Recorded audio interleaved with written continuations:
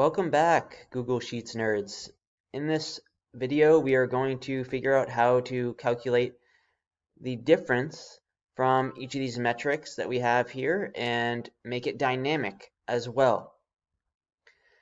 To start, let's create a drop-down menu for what we want to get the difference from. To do that, we can go to Data, Data Validation, and let's reject the input if it's not what we want. List from a range is fine. We can click on Select Data Range, and let's select these three cells here. We either want to compare to the best, average, or worst, and click OK. Save, and now in this dropdown we'll see best, average, or worst. Maybe let's make that bold and uh, I'll deal with the formatting later. In the last video, we used choose, the function choose. We're going to use that again. And again, it's reiteration of what we did before. Hopefully these, these functions, the few that we've used so far, but in great depth and detail, we're beginning to understand and recognize that there are a few functions that can do a lot of really cool things. In this cell right here, J5, we're going to choose which one of these values we want to compare based on what's in this drop-down menu. So let's go equals choose, and we've done this a little bit already. Now, what's our index? Our index is, let's start again with 1, okay? We'll start with index 1, comma. Our first choice is going to be our athlete's value minus the best value, comma. Our next thing that we want to choose, or we want to choose from, is the athlete's value minus the average value, or the athlete's difference from the average. And the final one that we might want to choose from is comma, the athlete's value minus the worst value, or their difference from the worst. And if we close the parentheses and click enter, now we have their difference. And since we have number one, option number one is our choice, which is the athlete value minus the best value, we see that they're 5.5, give or take, below the best. If we choose option number two instead, we notice that they're only one below the average. But this is not dynamic, and to make it dynamic, we're going to do the match like we did in the last video. So instead of number two, we'll say match open parenthesis. We want to match whatever's in this cell, whatever we pick in our drop-down menu, and lock in the J and the 4 with dollar signs, comma. We want to match that to, and let's select best, average, worst right here, these three cells, and put that dollar signs before the K4, the M, and the 4 to lock them in, comma 0, it has to be an exact match, and close the parenthesis, so what we're saying is we want to match whatever's in this drop-down menu to, or we want to find the column that corresponds with what's in this drop-down menu and get the value for that. So when we're done with this formula, you can click enter, and there we go. The only other thing that I want to add here is in case we have a camp where there is no value in this cell, or we have a session where the athlete does not perform a test, I don't want there to be an error or a blank. So before this choose formula, we'll have an if statement. Go if, open parenthesis, if this equals quote, quote, or blank, if that does not exist, comma, blank. So if there is no value in this cell, let's make it blank. If not, comma, we'll do this choose thing. So if the athlete has a value, we'll do the choice. We can close the parentheses and click enter.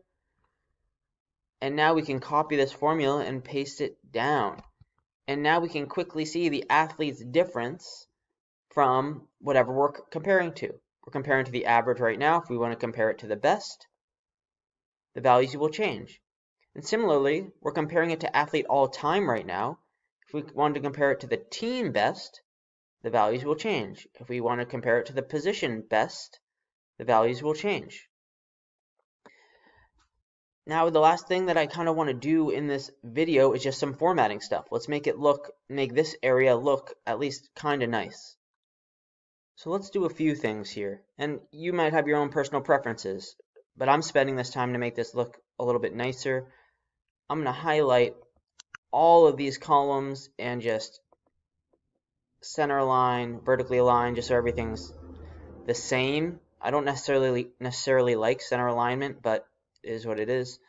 So let's change this to Varela Round, both of those things. And now what I want to do is I want to merge these two cells together.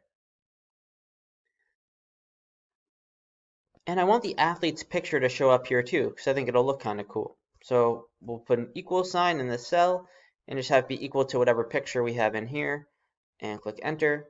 So those are their values and here's their difference from the best and here's where we select stuff. Now I want to deal with the formatting of this area. Just highlight all this stuff here. Format, alternating colors, and this is because I want colors to alternate a little bit. I don't want a header, and that's fine with me. Maybe I'll make the color even a little bit lighter by doing a custom adjustment. Just a little bit lighter, and click Done, so that when I remove the grid lines from this, that I'll be able to distinguish rows from rows. Now, in this difference from area, I want to do some custom number formatting. We'll go to Format, Number. Oh, well, I already have my formats in here, so I'll show you how to set up custom number formatting. Custom number formats, you can use emojis, you can use uh, not symbols, but you can use some symbols um, if the font type is supported by Google Sheets, and I'll show you how to get the symbols that I want, which are an up arrow, a down arrow, and a, like it's just a dash if it's equal. I'm going to open up Microsoft Word on my computer and just open up a blank document. Go to Insert, Symbol, More Symbols, and you'll see I have my symbols here, but I believe that if you go to the font Arial and you go to geometric shapes, I think it's geometric shapes, here's where the arrows are that I want to use. So I'm going to, actually all of them are here. So I'll insert the rectangle, I'll insert the up arrow, and I'll insert the down arrow, and click close. And it has to be Arial because Arial is supported by Google Sheets. You can't use wingdings or webdings or anything like that. Although, like, you could use um, emojis in certain instances. I'm going to copy all three of these symbols. Okay. Now I'm just going to paste them into Google Sheets. Now I have the symbols there. And when I highlight all the cells that I want to format in that way and go to Format, Number, More Formats, Custom Number Format, we can customize the number format. So let's start this from, from scratch you have three number formats. The first is for positive numbers, the second is for negative numbers, and the third is for numbers that are equal to zero. you you have control over how each of those things are formatted. So I'm going to go with a quote sign and paste to paste in my symbols. For positive numbers, I want a quote sign up arrow. And I'll actually put it at the end, but I'll go 0.0 with a quote up arrow. And then a semicolon segregates, okay, that's how you want to format positive numbers. 0.0 just means a number, a decimal, then another number with whatever this is in quotes next to it. Instead of that up arrow, we could say Adam, and then it'll say Adam after the number. Whatever is in the quote will show up after the number. For negative numbers, again, I'll just have 0.0, it'll, and I'll do a quote and paste, and remove the two symbols that I don't want, and a down arrow. And for the third, which is 0, semicolon to separate. So we have positive numbers, semicolon, how we want to format negative numbers, semicolon, and I'm just going to do paste and remove the two symbols that I don't want. Because I don't want the 0 value to show up, I just want the symbol. And if we click apply, now we can see our numbers are formatted appropriately. Their body weight is equal to the position best, so there's nothing there. Um, their broad jump is 16 below the position best, so there's a down arrow and the below with one decimal. And we can change the font to be Varela Round now, and we can kind of bold all this stuff. And the last part of this is we made this dynamic, right? We And I'll, I'll remove these symbols now. We made this dynamic so that we could pick any metric one of the difficulties with that is that you don't know how many decimals you're going to want and you don't know what the formatting is going to be that you want. And I advise knowing what you're going to want in this list and format each row appropriately. I made this dynamic so it could accommodate for all your needs, but for me, I'll, I know what I want to go in each of these cells and I'll format each appropriately. And I'm going to go through that right now. So I'm going to start mine with body weight. I, am going to kind of go fitness category by fitness category. I'll do body weight. That's kind of general, and there really isn't a best or a worst. I don't care.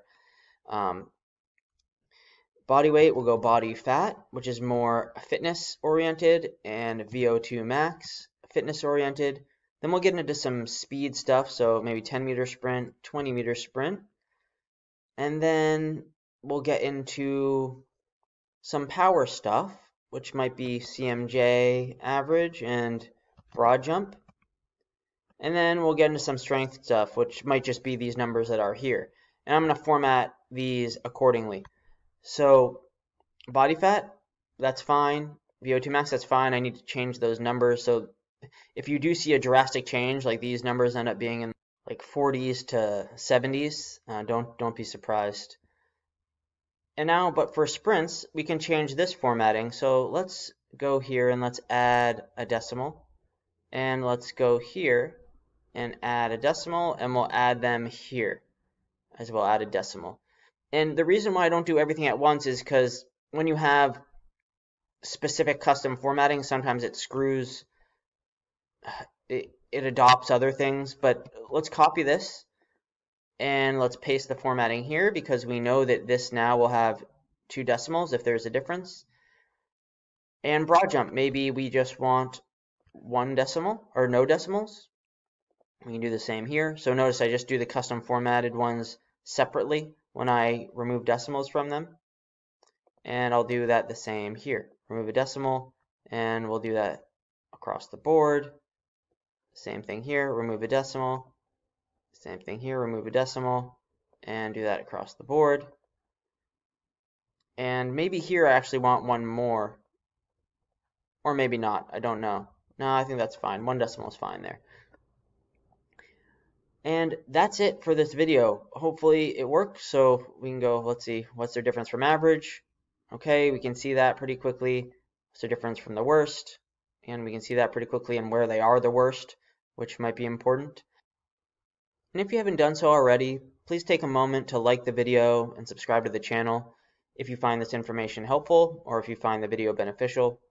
I'd really appreciate that. That's it for this video.